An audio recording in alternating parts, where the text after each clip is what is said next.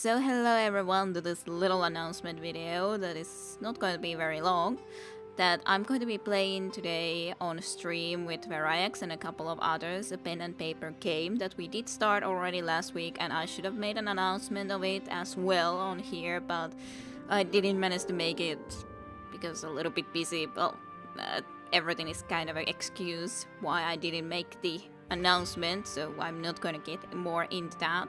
But I did at least post a little comment on my Twitter, so you can also follow me in there if any of this sort of a situation happens again.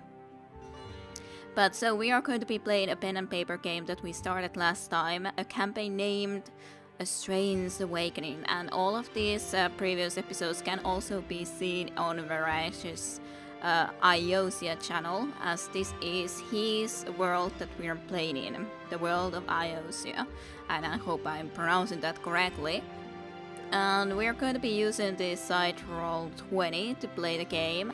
The rule set is also his creation, which you can have a closer look at in his PDFs on the Iiosia channel or his Iiosia pages if you want to. So it's not regular D&D nonetheless.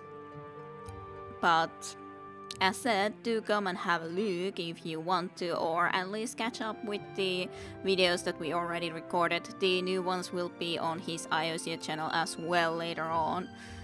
But as said, just a little announcement so you can come and have a look if you want to.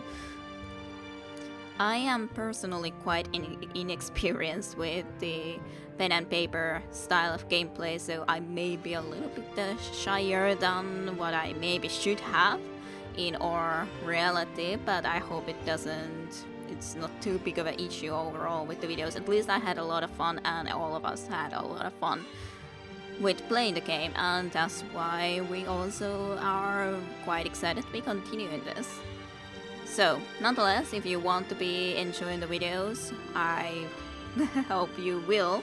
And I will be leaving the links to the descriptions, of course, so do go and have a look if you're interested. And I hope you have a great time. Thank you for watching.